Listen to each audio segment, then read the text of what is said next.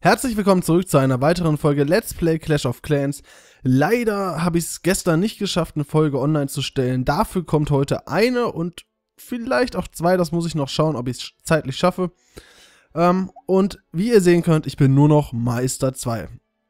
Ich habe jetzt endlich es geschafft, mich davon loszureißen, Champion zu sein. Es bringt einem ja doch nichts, wenn man farmen will. Und äh, ne, ihr seht meine Mauern. Ich möchte unbedingt alle Mauern Level 10 erreichen und dazu ist das halt nicht die ideale Möglichkeit hier oben. Beziehungsweise vor allem in Champion nicht. Jetzt gerade geht's ja schon fast wieder. Ich werde jetzt nochmal eben hier nachproduzieren schon mal die Loons. Im Moment gehe ich noch mit Loons und mit Minions runter. 20 erstmal nur in jede. Ähm, weil ich natürlich versuche, möglichst viel Dunkles abzustauben bei, wenn ich schon runtergehe. Und bis jetzt habe ich mir, ist mir aufgefallen, hm, damit kommst du oft noch an volle dunkle Elixierlager. Und deswegen schauen wir mal. Das hier ist mir zu weit in der Mitte. Äh, zu wenig, würde ich sagen. 759, also bitte. Das würde ich nur nehmen, wenn es ganz außen steht. Das hier zum Beispiel... Also die ganzen Magiertürme und die Infernus stören mich nicht. Die beiden X-Bows da unten sind aus Luft, der oben auf Boden, aber ich weiß nicht, ob ich die Loons so kontrolliert kriege, dass die vorher alles freiräumen und die Minions dann rankommen. Der hier, oh, der bietet auch so viel, aber da sind zwei Multi-Infernos, somit habe ich da eigentlich keine Schnitte. Das ist mir auch schon fast zu wenig, also 2000 wären schon schön. Ausnahme, es steht ein dunkles Elixierlager außen. Ich werde euch gleich auch noch so ein paar Angriffe zeigen, die ich noch im Log gespeichert sind, die ich schon gemacht habe. Hatte jetzt gerade ein Schild. Hab da auch wieder gut Ressourcen verloren während des Schildes. Also beziehungsweise wodurch ich das Schild bekommen habe, war schon wieder sehr ärgerlich. Bin einfach immer noch zu hoch. Hier sind über, ihr seht es ja auch in der Suche, finde hier fast nur Rathaus 10er, die zerstören natürlich eine Rathaus 9 Base mal ebenso im Vorbeigehen. Der hier. Also eigentlich würde ich sagen, nein, ist zu wenig. Aber wenn man das sich anguckt, das dunkle Elixierlager steht hier außen. Könnte ein Tesla vor sein, vielleicht auch zwei. Die anderen beiden, glaube ich, sind am Rathaus. Ob in der Clanburg was drin ist, weiß ich nicht. Ich werde es versuchen. Ich bin so mutig. Natürlich ist in der Clanburg was drin. War ja klar, würde ich mal sagen. Ähm, dann machen wir es doch mal so. Krieg den Bogiturm zumindest kaputt. Und spare mir dadurch gleich vielleicht den einen oder anderen Lakaien. Die war natürlich nicht so gut gesetzt beim Mage. Mal gucken. Ihr sollt nicht den Mage angreifen, ihr Vollpfosten.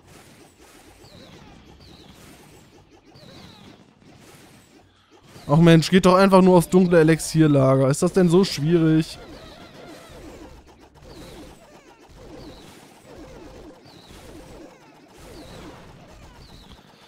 Ja, das reicht. War jetzt nicht so der Burner. Im Nachhinein ärgere ich mich ein bisschen, dass ich den angegriffen habe. Aber ich würde mal sagen, kann man jetzt nicht mehr ändern.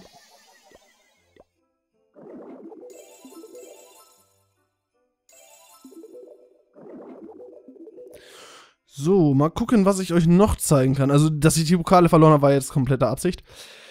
Der hier drunter war, äh, auch wenn ich das schon sehe von den Ausbeuten her, war das auch schlecht. Die beide drunter. Gucken wir uns erstmal den hier an. Ja, das Dunkle ist relativ weit oben. Hat natürlich eine Clanburg auch was drin.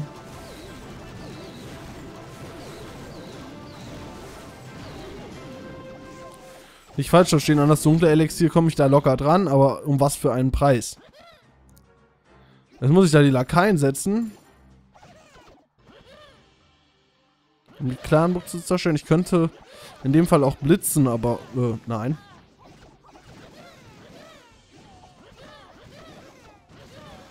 Zauber brauchen immer so lange zum Nachproduzieren. Deswegen, wenn ich es irgendwie anders lösen kann, dann lasse ich die Zauber meistens äh, weg. Noch ein Mage. So. Habe ich denn dann noch mehr gemacht? Ja, ich habe es dann noch da unten versucht. Das war der Fail. Ansonsten wäre es vielleicht in Ordnung gewesen. Ich habe aber noch versucht, auf die 100% irgendwie zu gehen. Äh, auf die 100, auf die 50% zu gehen. Ich weiß nur nicht mehr warum. Es war klar, dass ich das nicht schaffe. Ich weiß nicht, was ich mir dabei gedacht habe. War auf jeden Fall ein Fail, würde ich mal sagen. ähm. Das hier war auch richtig dumm von mir. Ich habe nicht drauf geachtet. Ich habe nur gesehen, 933 Dunkles und das Elixierlager steht außen, das Dunkle. Hab's dann gemacht. Hab dann nicht geguckt, wie viel noch verfügbar ist, hab direkt danach abgebrochen. Sehe dann, äh, nur 115? Ja, scheiße, ne? Der gute Junge hatte nämlich anscheinend ein bisschen was in den Bohrern. Und äh, das sieht zwar nicht nach viel aus, aber hier der, wie ihr seht, äh, quasi der jetzt neben dem Kopf der King, äh, der King, der Queen ist, ist genug drin, als dass man sieht, da ist mehr ist drin als in einem Lager. War ein bisschen scheiße, würde ich mal sagen. Ähm, habe ich denn wenigstens noch irgendwie einen guten? Hm, ah, ja. Was habe ich denn hier gemacht? Da haben wir auch das dunkle Elixierlager geschnappt mit der Queen. Nur mit der Queen erstmal, hab mir dann überlegt, hm, ich kriege gut Dunkles jetzt. Wahrscheinlich sogar fast alles. Aber bei dem sind 50% drin. Hätte ich das vorher gewusst, hätte ich natürlich nicht die Queen da abgesetzt. Dadurch wird sie mit zerstört.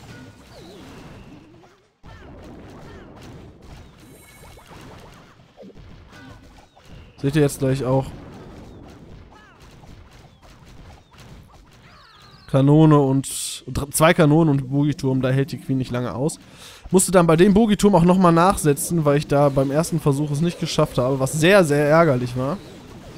Unten auch noch nachgesetzt. Hat so gerade gereicht für den Bogiturm.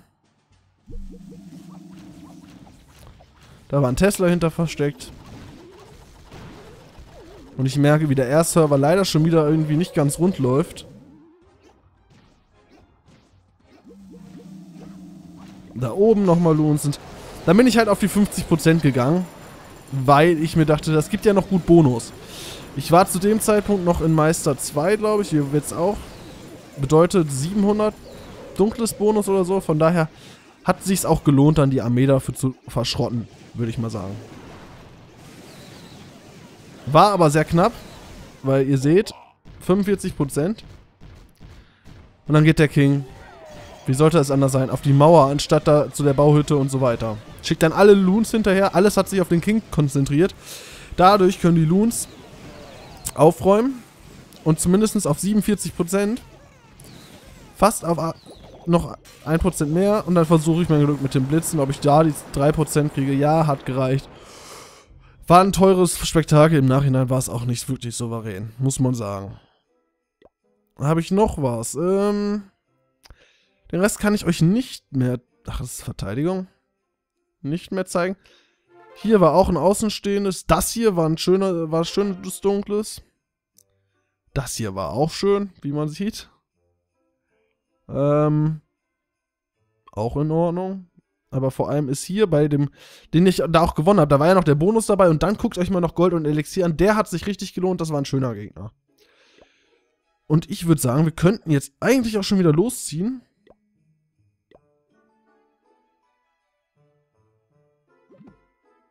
Hm?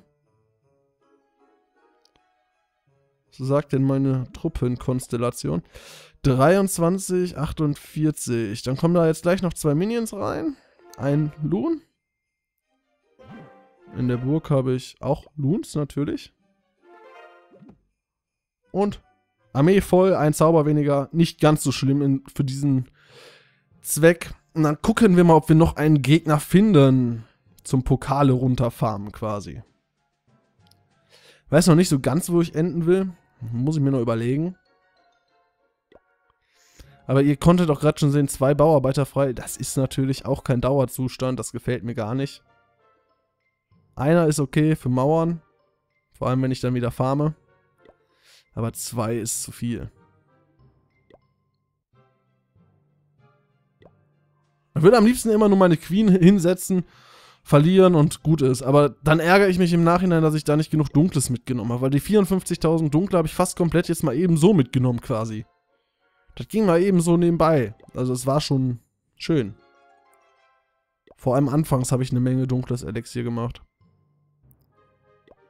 Äh, 172, wofür soll ich da angreifen? Und da komme ich wieder nicht dran. Ich habe am liebsten die Leute, die hier dunkles einfach... Die wollen doch Pokale haben. Sollen sie mir einfach ein dunkles Lager außen hinstellen? Ich nehme es dann freundlich ab und äh, sie kriegen ihre Pokale. Haben wir alle was von. Manchmal sehe ich das Dunkle gar nicht. Wenn das so ganz leer ist, dann übersieht man das ja schon mal. Die Base ist natürlich richtig, what the fuck, richtig schlecht. Rathaus 10 und dann solche Mauern, das geht gar nicht. Also Leute, tut mir einen Gefallen, lasst das.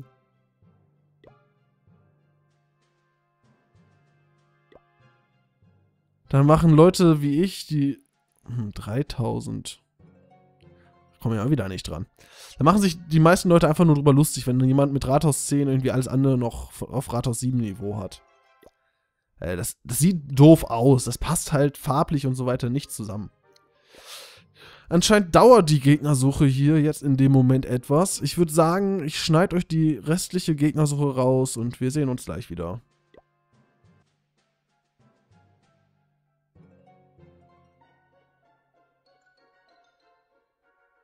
Hm.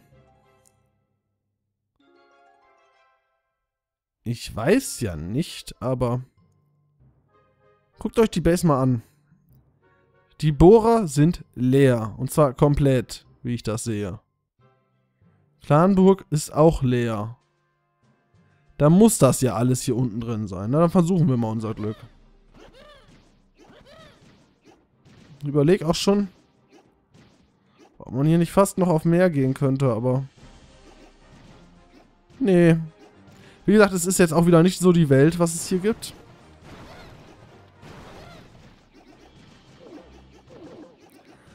so Ressourcen schon wie möglich vorgehen. Haben wir natürlich nicht darauf geachtet, wie viel der dunkle Bohrer gegeben hat, aber der gibt 1, 2 pro Hit. Also nicht die Welt. Womit werfen die Minions da eigentlich? Das sieht aus, als würden sie Pflaumen irgendwie gegen irgendwas gegenschmeißen.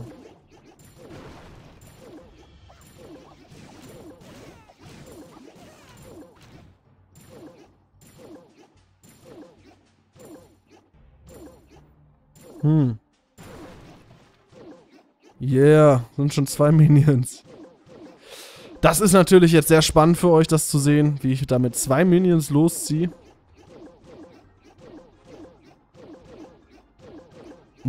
Den pflaumenwerfenden Minions. Wird auch nicht alles drin sein, ein bisschen wird in den Bohrern sein.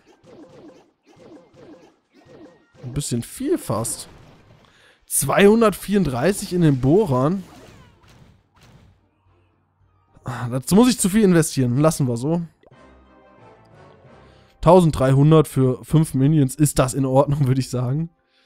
Werde jetzt wahrscheinlich ein paar Balloons mehr haben, aber egal. Komm, wir suchen noch einen. Lief ja gerade. Ich würde sagen, die Gegnersuche überspringe ich euch direkt wieder. So. Das sieht mir doch danach aus. Nach vollen Bohrern. Da. Was? Der Bohrer ist voll. Und die nicht. Hat er vergessen, den einen zu leeren?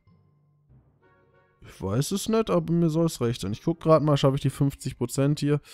Äh, nein. Dann setzen wir hier...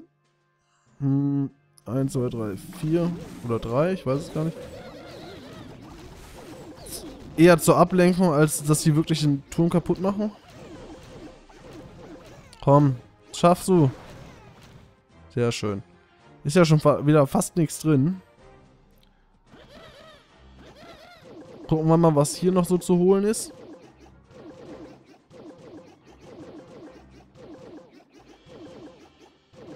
Hm. 500 sind noch da. Ach, ich weiß nicht. Ja. Okay.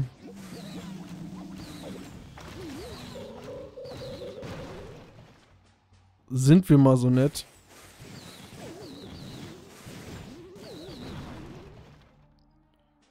Setzen hier einen Wutzauber hin. Machen 1, 2, 3.